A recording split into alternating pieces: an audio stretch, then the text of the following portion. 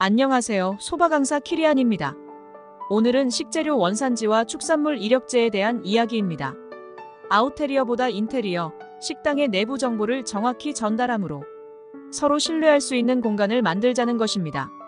식당을 생각할 때 손님들이 갖는 불신은 여러 가지가 있을 것입니다. 가장 먼저 생각나는 것이 청결 같습니다. 또는 저가 식재료와 남은 반찬 재활용, 원산지 속임과 소비기한에 대한 문제 등이 있을 것입니다. 이러한 불신은 식당 내 원산지 표시와 POP 등을 통해 어느 정도 해소할 수 있을 것입니다. 우리 식당은 절대 반찬 재활용을 하지 않습니다. 같은 것 말이죠.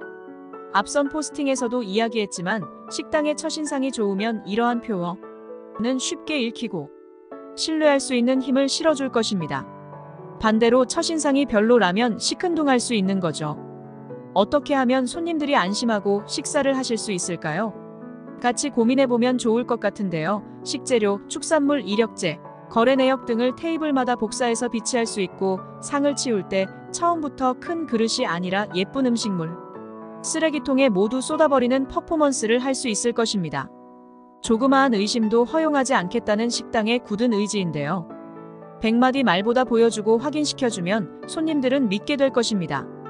어차피 버릴 것 손님 앞에서 버리고 주인장만 알고 있던 거래 내역을 손님과 공유해 볼 수도 있고 말이죠. 이미 실천하고 있는 식당도 있을 건데요. 음식값이 싼 곳은 싼 대로 가격만 쓰여 있어도 좋겠지만 현재는 모두 만 원대가 넘어가는 고가 음식들 뿐이라 자세한 설명이 필요한 시기가 된 것도 같습니다. 상대적으로 가성비 있는 음식 5천원, 6천원대의 음식을 먹으며 특별하게 품질 따지고 하지는 않을 것 같은데요. 만원 가까이 하는 식당이라면 밀가루 종류까지 정확하게 고지하고 대파는 얼마에 샀는지 말할 수 있어야 좋을 것입니다.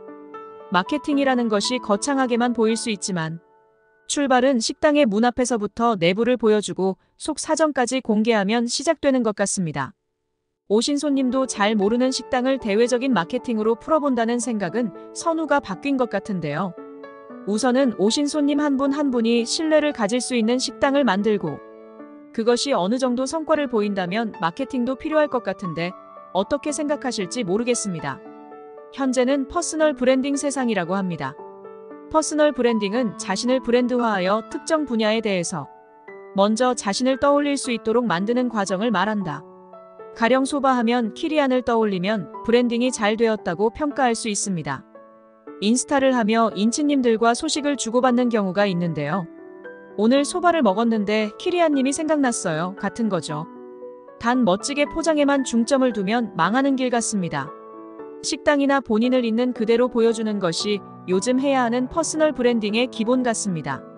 더 나아가 내게 특화된 것을 대가 없이 공유함으로 더 큰 지지를 받을 수 있기도 하고요. 정리하면 식재료 원산지와 품질, 축산물 이력제 같은 것을 공유하자. JYP 박진영 씨가 어느 방송에서 한 말이 생각나는데요. 카메라 앞에서 조심할 필요가 없는 훌륭한 사람이 되어주세요. 오늘은 여기까지입니다. 소바 강사 키리안이었습니다. 감사합니다.